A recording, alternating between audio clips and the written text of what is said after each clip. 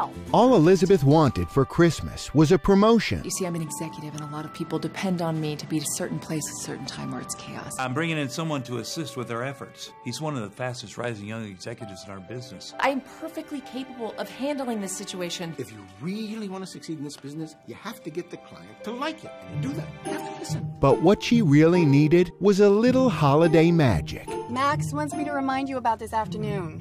You're taking him to see Santa? Maybe I can help. What can I get you for Christmas? I want to understand what makes people dislike me. I want to know what they're really thinking. This pin is infused with the magic of Christmas. Now she has the ultimate Christmas present. Calvin the elf gave me a magic pin that lets me hear what other people are thinking. Here comes Miss Grumpy Pants. What did you just call me? I wonder if she's into younger guys.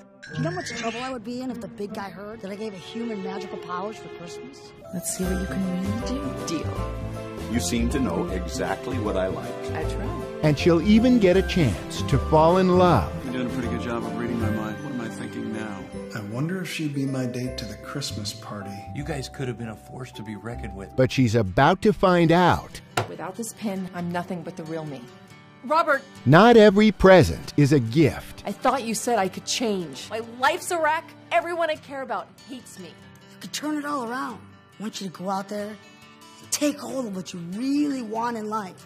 You, you did your best. Just follow your heart, Elizabeth. It's going to take more than a little holiday magic to pull this one off. Melissa Sagemiller, Brad Rowe, and Tom Arnold.